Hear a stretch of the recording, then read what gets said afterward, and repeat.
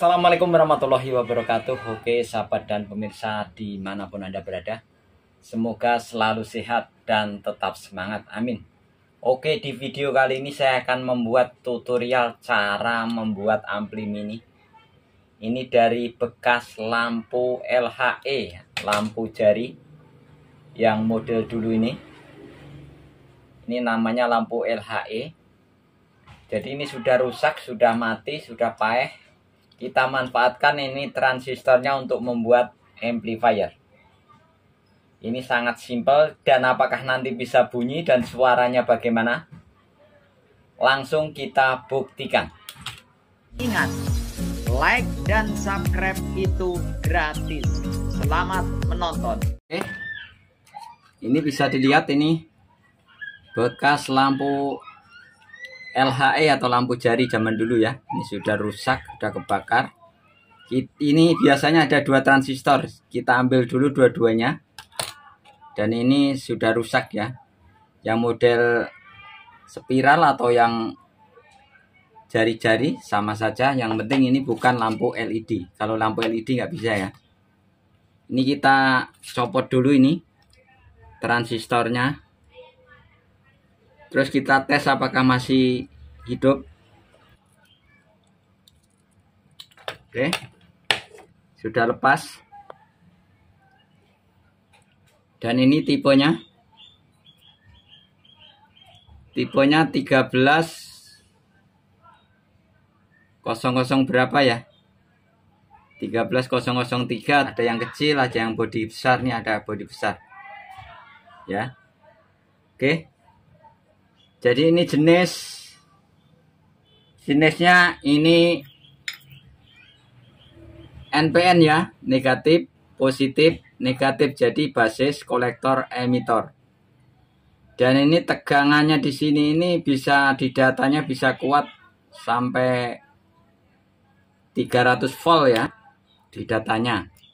Jadi nanti kita pakai tegangan dari 12 volt bisa, dari charger HP 5 volt juga bisa. Oke. Selanjutnya kita tes dulu sebentar.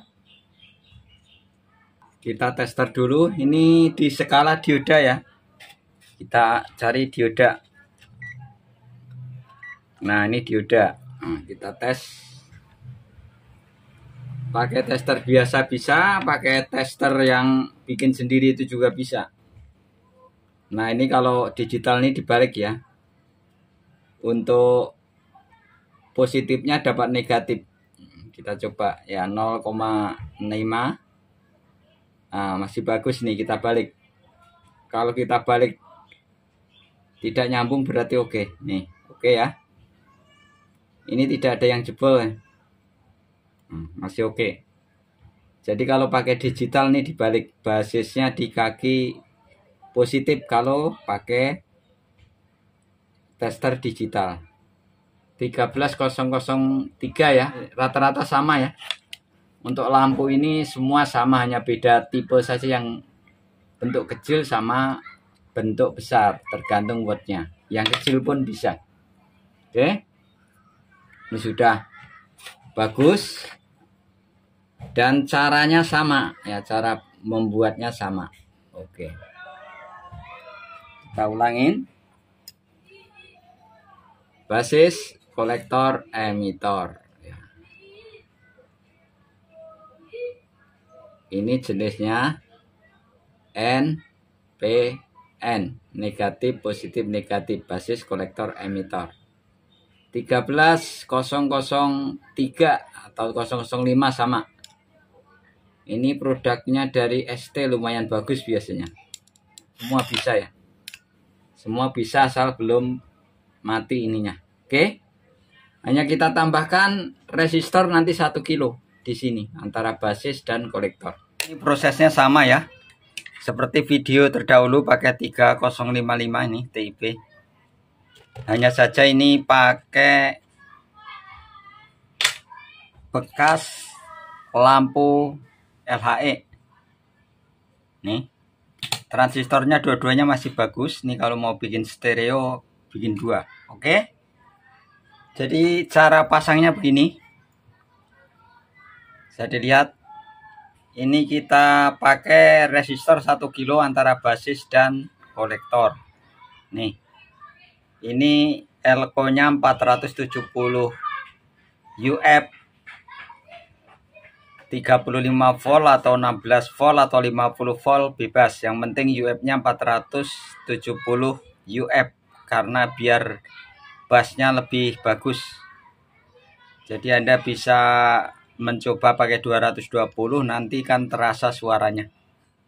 Tapi saya pakai 470 mikro 16 volt bisa sampai 50 volt. Oke?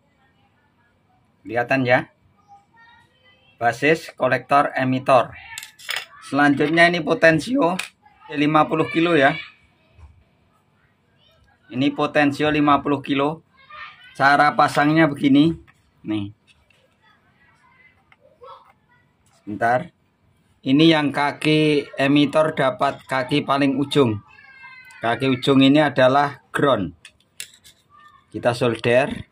Nih dan yang negatif elko dapat kaki pin pertama ini.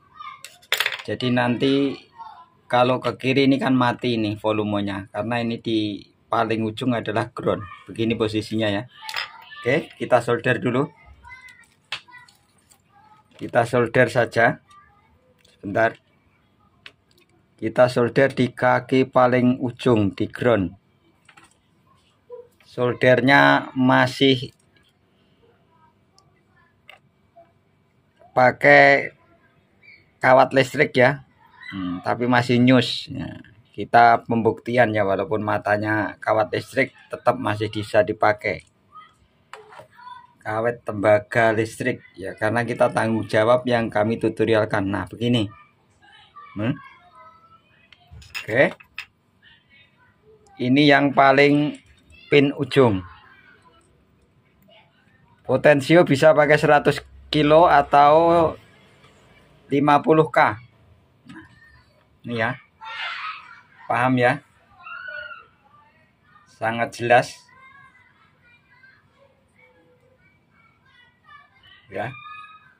Oke. Sekarang kita pasang untuk inputnya. Input antara kaki tengah dengan kaki pinggir ini ground kita tambahkan soket mic 3,5 mili yang biasa soket mini mau yang kotak mau yang model begini sama saja. Ini ground L R. Yang L sama R input ini kita gabung. Biar hasilnya dari stereo menjadi mono. Kita gabung. Oke Bisa kita lihat ini kita pasang dulu. Yang input ini dapat kaki tengah yang kita gabung. Yang negatif ground ini dapat kaki pinggir. Oke. Kita tetesin timah dulu baru kita solder. Kita lanjutkan. Jadi yang speaker negatif ini dapat kaki tengah kolektor ini ya. Dan yang negatif dari charger HP ini kan negatif kita gabung ke negatif yang input ini nanti bisa untuk bluetooth biar lebih aman pakai bluetooth. Nih kita gabung negatifnya di kaki paling pin paling pinggir. Dan yang di tengah ini tengah ini adalah input. Nih antara input LR kita gabung supaya dari stereo ke mono hasilnya lebih bagus. Oke paham ya? Jadi begini saja ini speaker 3 inci ya kalau pakai charger HP. Tapi kalau pakai adaptor 12 volt bisa pakai speaker yang lebih besar. Misalnya 6 in sampai 8 in atau 10 in maksimal. Masih kuat. Karena ini tegangannya kecil, pakai yang 3 inci saja. Oke. Sekarang kan kita coba. Kita ambil charger HP dulu. Volumenya kita kecilin dulu ya. Kita colok dulu charger HP-nya nah begini. Jadi ini bluetooth yang model begini nih. Ini ada colokannya kita colok ke sini.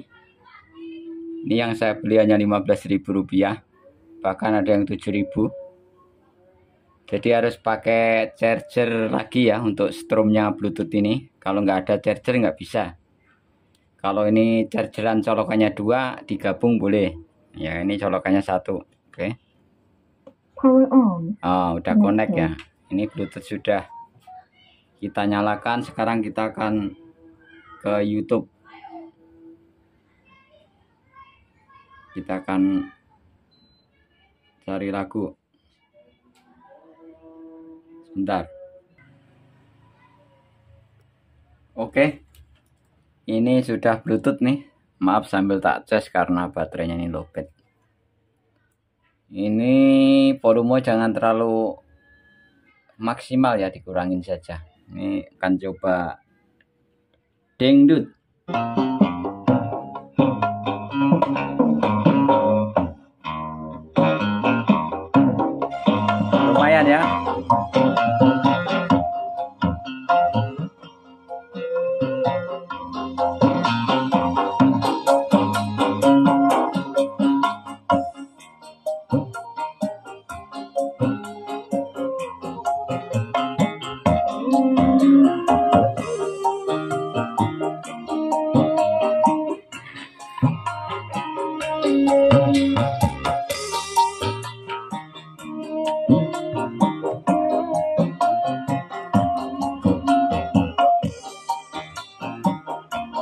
mantap.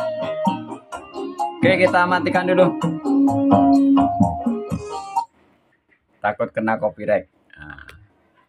jadi ini kalau pakai 5 volt ya karena ini tidak anget sama sekali ya karena tegangannya hanya 5 volt. Kan kita coba pakai tegangan yang laptop saja ya charger laptop. Jadi bisa pakai 12 volt sampai 20 volt juga masih kuat nih ya. Yang jelas spekernya lebih besar. Kalau ini pasti jebol spekernya ya. Speaker yang kan kita coba yang 10 inci. Bentar. Kita copot dulu. Oke. Ini akan kita coba pakai adaptor nih. 12 volt. Colok dan itu Bluetooth tadi. Biar kelihatan Bluetoothnya pakai charger HP ini HP lagi tak charger ya karena lowbat mohon maaf. Dan ini tambahkan pendingin ya kalau untuk pakai 12 volt atau sampai 15 volt masih oke. Okay. dan ini saya tambahkan Twitter cara pasangannya tetap sama. Yang positif langsung ke speaker positif nih. Yang negatif supply ini langsung ke ground sini.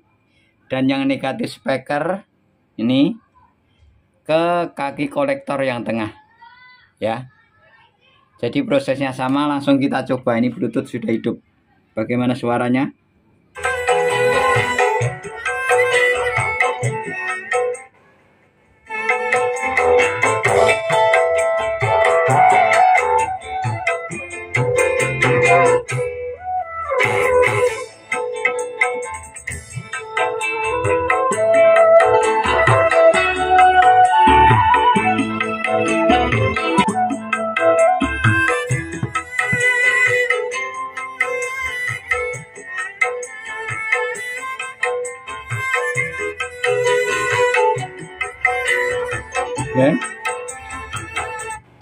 Matikan dulu.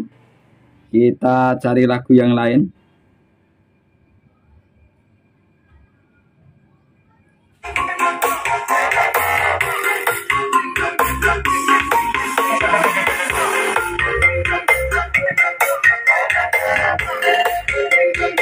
ACR ya. ACR 10 08 018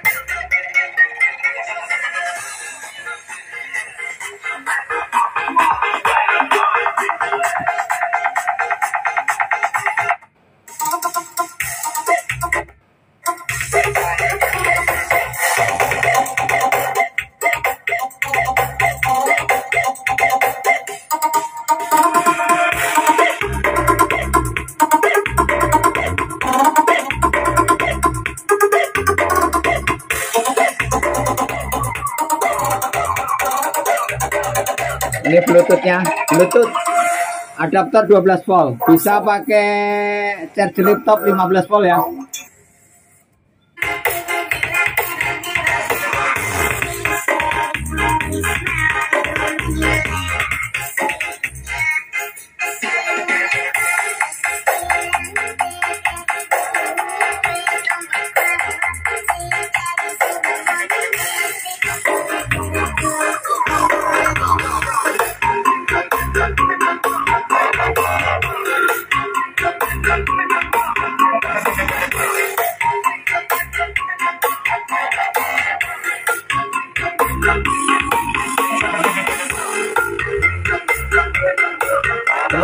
Box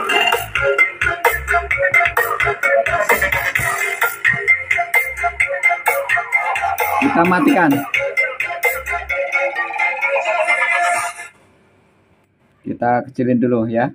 Jadi volumenya jangan besar-besar. Kita matikan nanti kena copyright. Volumenya jangan terlalu mentok. Ya. Jadi kesimpulannya hanya bekas lampu tadi ya. Lampu bukan LED ya lampunya lampu LHE yang model spiral begini atau yang jari-jari itu yang model lama. Ya semua transistor bisa ya transistornya selama masih belum mati. Ini bentuknya yang sedang ada yang lebih gede lagi ada yang kecil lagi ya. Kecil pun juga kuat itu pakai 12 volt. Oke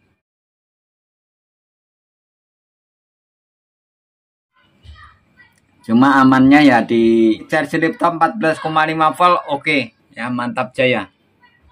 Jadi ini pakai 12 volt saja ini speaker 10 inci ACR 1018 ya ini bukan pro gede ya bukan. Hmm. Ini yang new. Oh.